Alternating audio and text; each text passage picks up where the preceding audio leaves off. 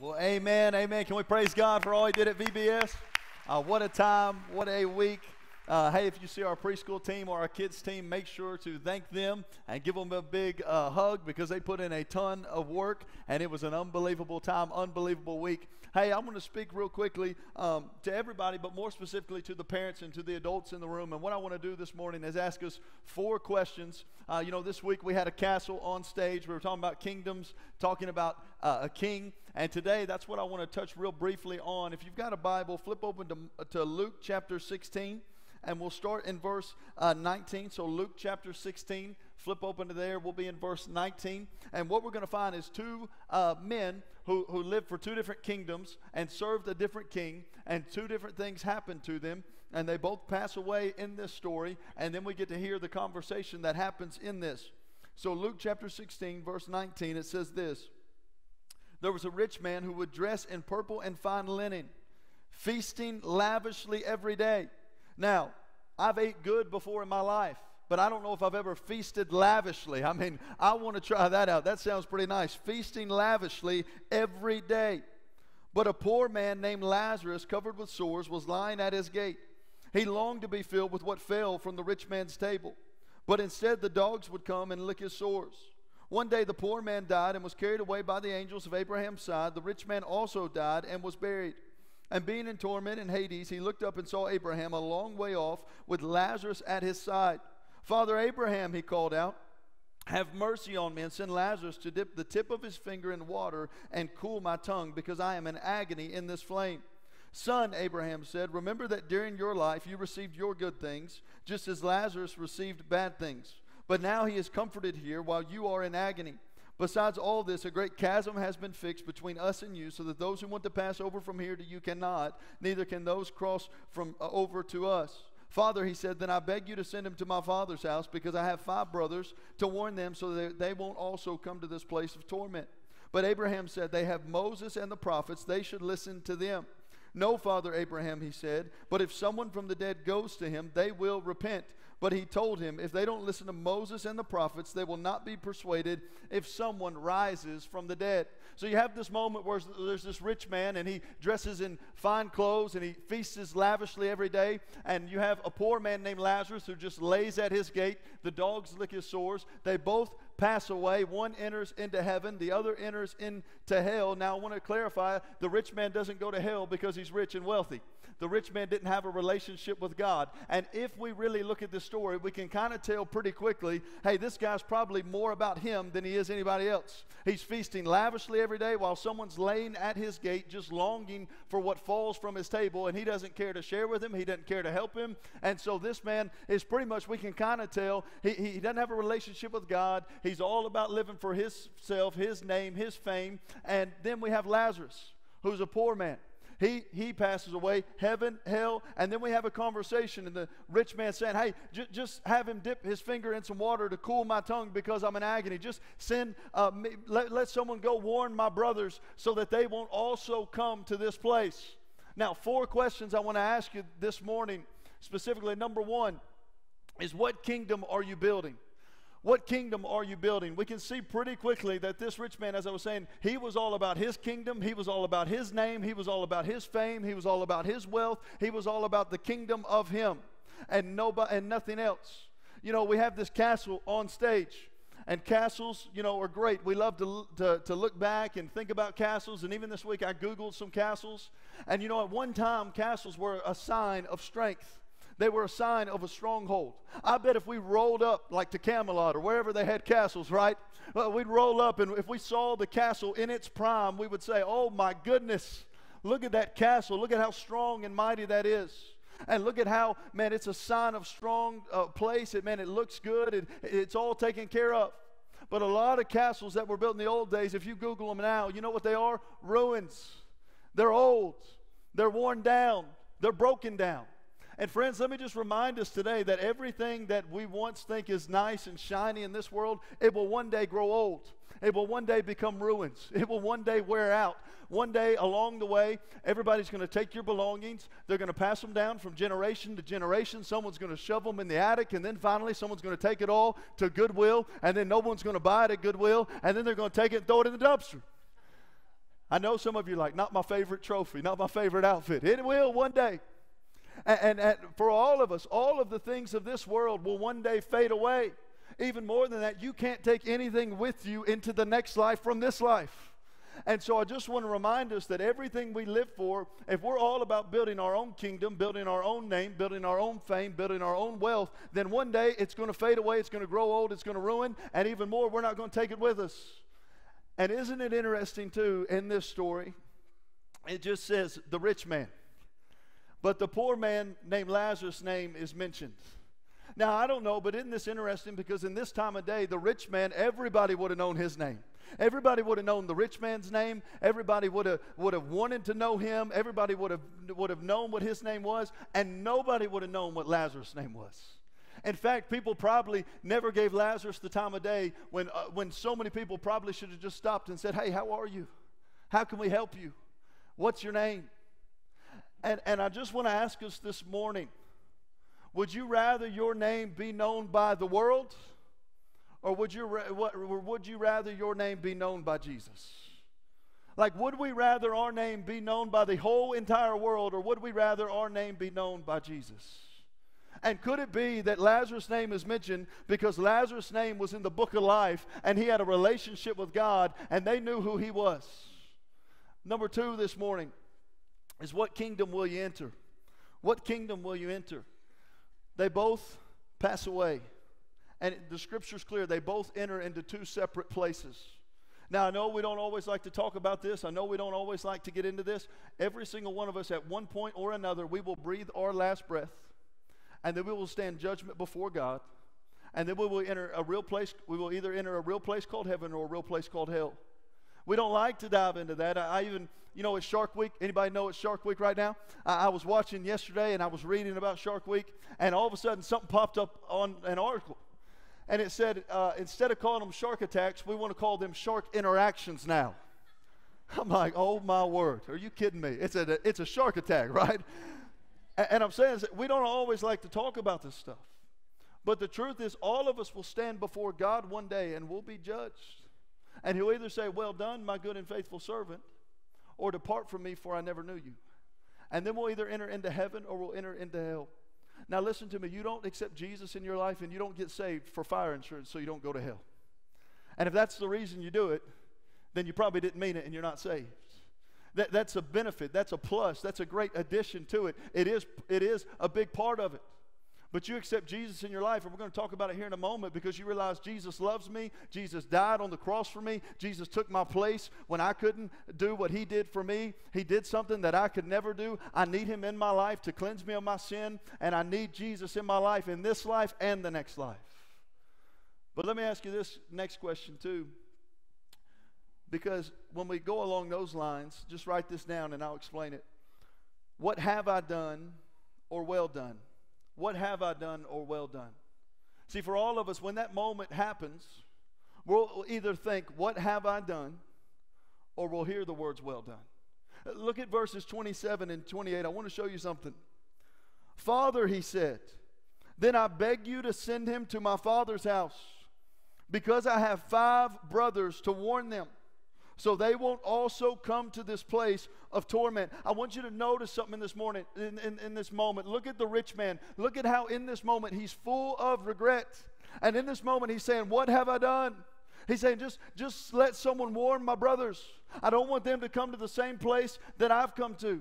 And you could only imagine the sense of regret in his life, saying, Everything I lived for was wrong. Everything I stood for was wrong. Everything I chased after was the wrong thing. Everything I put value and priority on was the wrong thing. And in this moment, he's realizing, I missed it. And he's realizing everybody in his life, he pointed to the wrong direction. Let me ask you this morning do you point people in the right direction towards Jesus or do you point people in the wrong direction? What will you think one day? Will you be full of regret like this man to think, What have I done? Man, everything I thought was important really was meaningless. Everything I valued really didn't matter. Everything I chased after was really nothing. Or will you be full of satisfaction because you realize, man, it was all about Jesus. And nothing else mattered. number four this morning, this question. If you answer this question right, you'll answer the other three questions. See, when it comes to a kingdom, it ultimately matters. Number four, who is the king of your heart? Who is the king of your heart? If, if you got the right answer to that question, and the answer, if you have the answer as Jesus as the king of your heart, then you'll build the right kingdom. You'll be building the right kingdom. You won't be building the kingdom of your name or your wealth or your fame. You'll be building the kingdom of God that lasts and goes on forever and ever. If you have the right answer as Jesus as the king of your heart, then one day you'll hear him say, Well done, my good and faithful servant, and you'll enter into heaven. If you have the answer as Jesus is the king of my heart, then you'll spend forever eternity in heaven, forever, where there's no more pain and no more sickness and no more darkness and no more evil forever. But then we have to ask the question why is Jesus king? Why does he get to have the place of king as the rightful king? Friends, let me just remind you in Genesis 1, God created the heavens and the earth. And then he created Adam and Eve. And then remember in Genesis chapter 3, the serpent tempts Adam and Eve, and they eat of the apple. And in that moment, sin enters into the world. And you and I have a sinful nature. You don't believe me? Well, uh, did anybody have to teach you how to be selfish? Nope. Did anybody have to teach you how to be prideful? Nope. Did anybody have to teach you how to lose your temper? Nope. I, mean, all of us have a sinful nature. And because of that sinful nature in the Old Testament, they began to sacrifice animals, all pointing forward to the New Testament when the great sacrifice would come, who was Jesus. And then in Matthew, Mark, Luke, John, you read about a guy named Jesus who comes onto the scene, born of a Virgin Mary, fully God and fully human. You say, why does that matter? He's fully God, but he's also fully human. Because he's fully human, he can feel what you and I feel. He can experience what you and I experience. He, he, he can be tempted like you and I are tempted.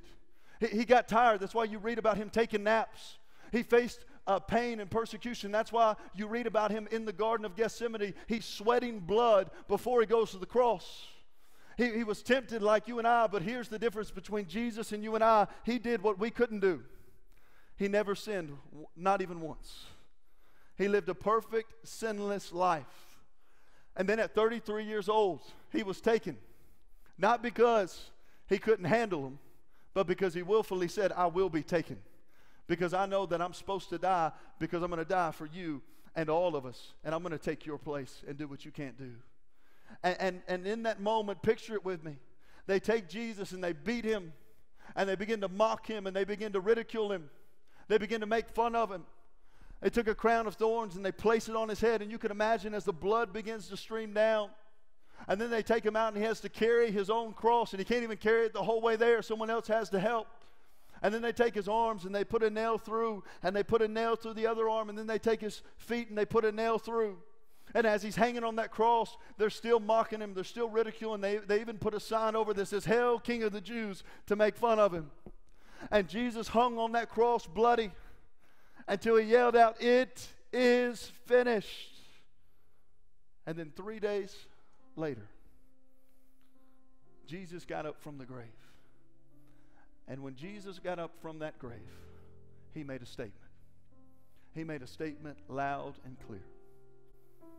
And here's what it was I am king over all. I'm king over the darkness. I'm king over your sin. I'm king over any temptation. I'm king over any pain. I'm king over any persecution. No one is higher. No one is greater. No one's done what I've been able to do. I am king over all.